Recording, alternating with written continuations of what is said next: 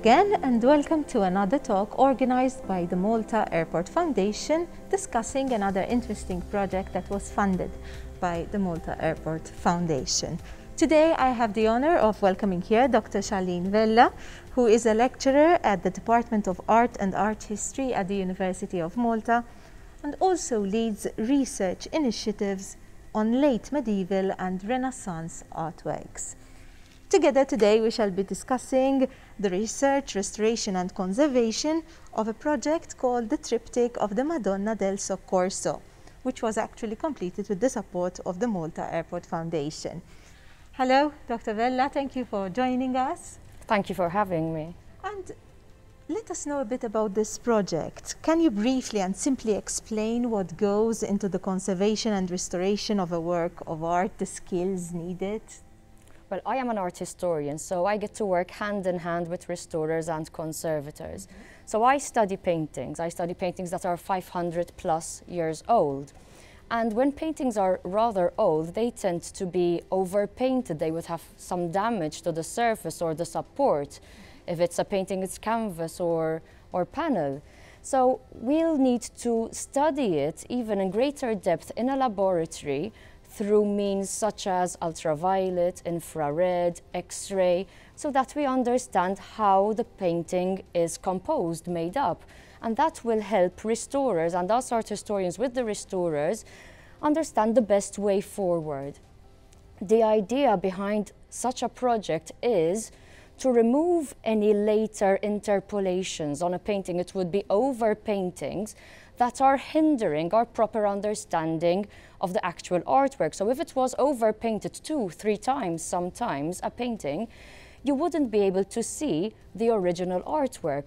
You would see the outlines of the composition and you know if it's a human figure you would know there is a, a Madonna and child underneath for example but you would not be seeing the original paint layer that the artist produced. So in my case with the Madonna del Soccorso triptych I have a Madonna harboring, you know, a, a, soul in the form of a diminutive human form in her mantle and backing the devil away. There are actually two devils and a soul in purgatory on the same painting, on the same panel, and then you have two male saints and other scenes above.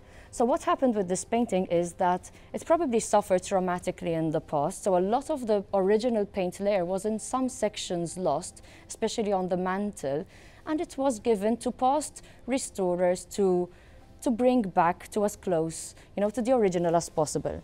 Now, with today's technology, we can do that in an even more sensitive manner. We can understand better also the artist's workshop techniques that he used 500 years ago to produce this painting, because this painting dates to the late 1490s, early 1500s. Is it hard to match colors, for example, and to do it as authentically as possible?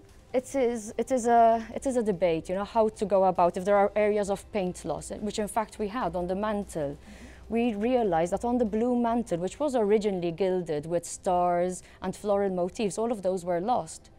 So we agreed with the restorers to give an idea of the blue mantle and the drapery folds, but not to recreate too much in a technique that is called tratteggio. And of course, all of these different processes are recorded, documented. So if in future somebody is studying the painting, they would know what is original, what was added, what was removed in past, in past restoration interventions, such as what we just did now. Why are such works important in conserving our cultural and artistic heritage? Well, this triptych comes from an artist who was active in Sicily in Messina, Antonio de Saliba. Antonio de Saliba was nephew of the great Renaissance painter of the Quattrocento of the 1400s, Antonello da Messina, who masterminded the use of the oil technique in Italy, uh, the use of the chiaroscuro way before Caravaggio, for example. And he used a very realistic and naturalistic technique with which he portrayed figures. So in, in a religious context, portraying figures naturalistically made the viewer, those praying before it, you know, feel closer to the spiritual being before him. So this painting, as I said, dates to the late 1490s, which means that it dates to three plus decades before the arrival of the Knights of the Order of St. John. So we know a lot about Maltese prehistory, about Baroque Malta with the arrival of the Knights, but we tend to not realize how really, how really strategically important Malta was even before the arrival of the Knights.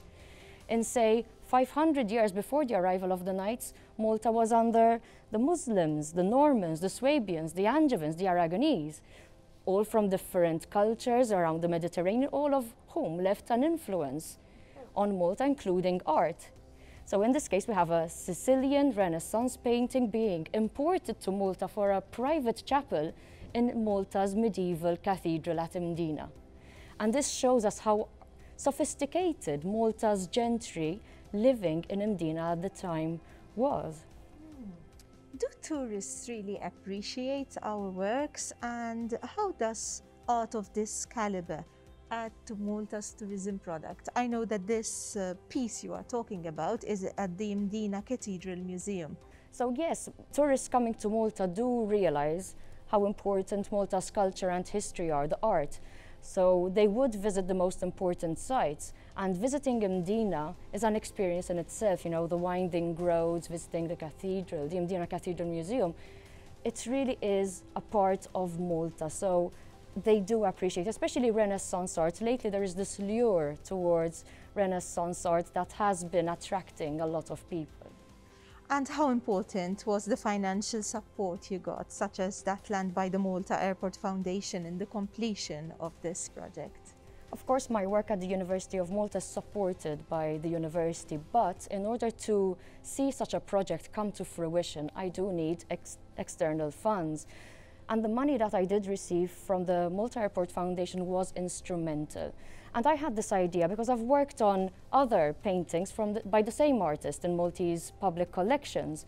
But for this, I wanted to do something different, something special.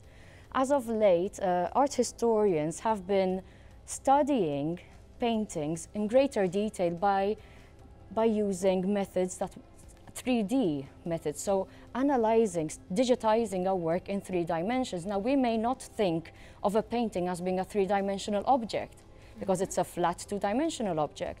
But when you study it in 3D, you realize how many layers a painting is composed of.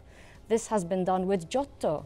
Giotto's altarpiece, you know, it's, it's been used for Giotto, the great, uh, the great artist, and lately the Victoria and Albert Museum has been 3D scanning the seven out of 10 cartoons that Raphael produced for the Sistine Chapel, the tapestries that he produced for the Sistine Chapel, which still exist today. But the cartoons that he made to scale are being scanned because we realize how important this technique is today. And this is exactly what we did with the triptych of the Madonna del Soccorso. And I know that the plans were to put this online and make it accessible to the public for free. Do you think that online museums could actually replace physical museums, or do you think they would make people more interested in visiting museums? I think certainly the latter part, making people more interested in visiting a particular museum.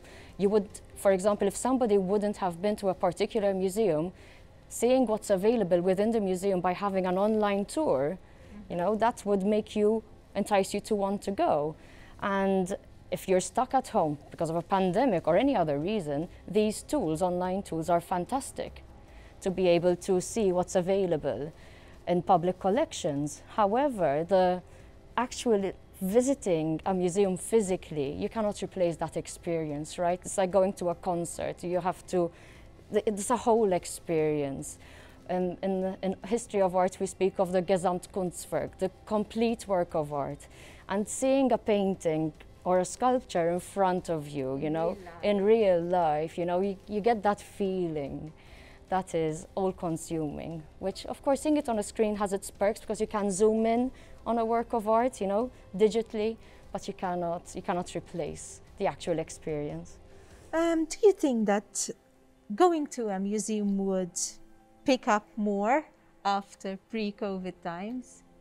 Well, I would hope so. I mean, I myself, um, I'm, I'm desperate to travel and visit some museums, but in lieu of that, I have been visiting local, local museums, which are open. So the national collections, which are which are full of precious works of art that reflect our history, our culture. They are open for us to view. So that is what we're doing at the moment as, as a family. So.